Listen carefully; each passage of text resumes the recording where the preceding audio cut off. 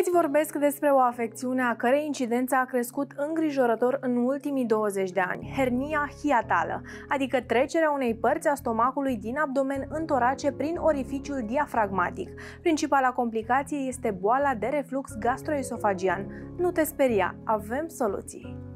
Pentru boala de reflux uh, gastroesofagen există tratament medical și cu tratamentul medical, simptomatologia dispare, iar dacă tratamentul medical este respectat, asta înseamnă medicamentele luate zilnic pe perioade foarte îndelungate, uneori pentru toată viața, simptomatologia este stăpânită, dispare sau este foarte atenuată.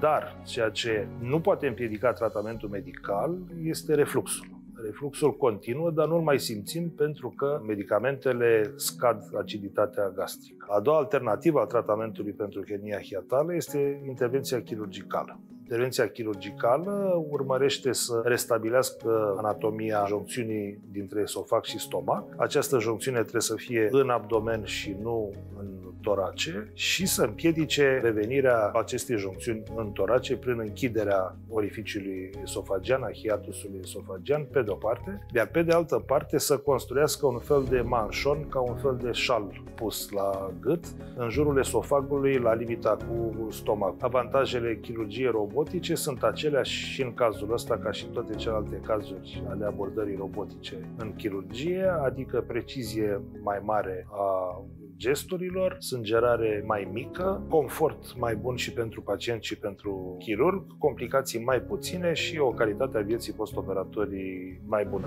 Durere toracică, arsuri, greață, vărsături sau regurgitația alimentelor. Aceste simptome reprezintă semnalul de alarmă. Mergi imediat la medic. Ai grijă de tine.